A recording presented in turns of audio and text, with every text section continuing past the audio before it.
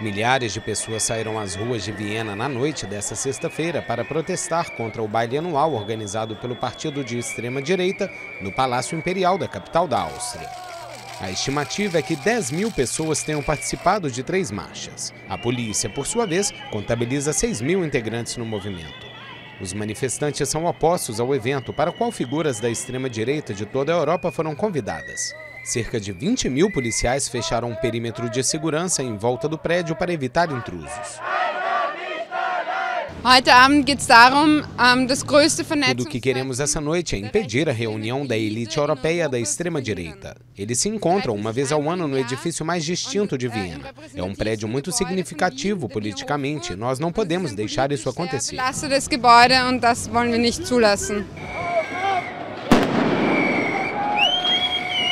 Apesar de alguns incidentes tensos, nenhuma violência foi constatada de acordo com a polícia.